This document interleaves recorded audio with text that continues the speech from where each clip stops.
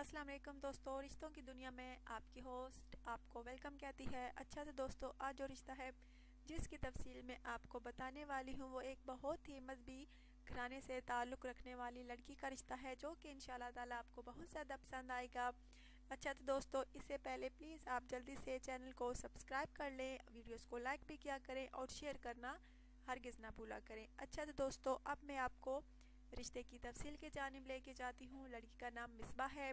سرگودا کی دوستو، یہ رہائشی ہے، بہت مذہبی لڑکی ہے، مذہبی گھرانے سے اس کا تعلق ہے۔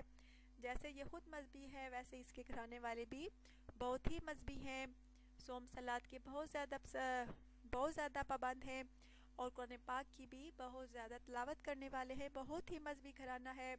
اور اس لڑکی کا کہنا ہے کہ میں ایک مذہبی فیملی میں ہی شادی کروں، جو کہ بہت زیادہ مذہبی ہو۔ سوم سلاد کی پابند ہو، قرآن پاک کی تلاوت کرنے والی ہو۔ سو پلیز دوستو، اگر آپ میں سے کوئی مذہبی فیملی ہے تو ضرور رابطہ کیجیے۔ اگر آپ کو یہ لڑکی پسند آتی ہے تو بہت ہی خوبصورت ہے، بہت مذہبی لڑکی ہے۔ ماشاءاللہ سے دنیاوی تعلیم بھی اس نے حاصل کی ہے اور مذہبی تعلیم بھی حاصل کی ہے۔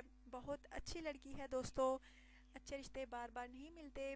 سو پلیز ضرور کومنٹس کیجیے، بہت ہی اچھی لڑکی ہے۔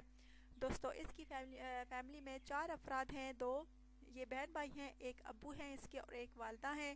صرف دو بہن بھائی ہیں، بھائی اس سے چھوٹا ہے جبکہ یہ بہن بڑی ہے۔ اس کے لیے اچھے رشتے کی تلاش ہے، مذہبی فیملی کی تلاش ہے جو کہ مذہبی فیملی ہو۔ اس لڑکی کا کہنا ہے کہ اسی فیملی میں ہی شادی کروں گی جو کہ مذہبی فیملی ہو۔ دوبارہ سے کہنا چاہوں گی دوستو، اگر آپ کو اس مذہبی لڑکی کا رشتہ پسند ہے، آپ کو یہ اچھی لگی ہے تو ضرور ضرور رابطہ کیجیے جس لڑکے لڑکے کو یہ پسند کرے گی، اسی کو رپلائی کیا جائے گا۔ سو پلیز ضرور کومنٹس کیجیے، رابطہ کرنے میں دیر نہ کیجیے۔ سپر ڈیلی نیوز چینل پہ اپنے کومنٹس کیجیے، اپنا واٹس اپ نمبر سینڈ کیجیے اور پلیز پلیز اپنا بایو ڈیٹا جو ہے تفصیل کے ساتھ لکھا کریں کہ آپ کہاں کے رہنے والے ہیں، آپ کی ذات کیا ہے، آپ مہانہ کتنے کما لیتے ہیں، آپ کون سے شہر میں رہتے ہیں، آپ کی ذات کیا ہے، سب لکھا کریں۔ اچھا تو دوستو، اب آپ کی ہوسٹ آپ سے اجازت چاہتی ہے، اپنا ڈھیر سارا خیال رکھے گا، دعا میں یاد رکھے گا، اللہ حافظ۔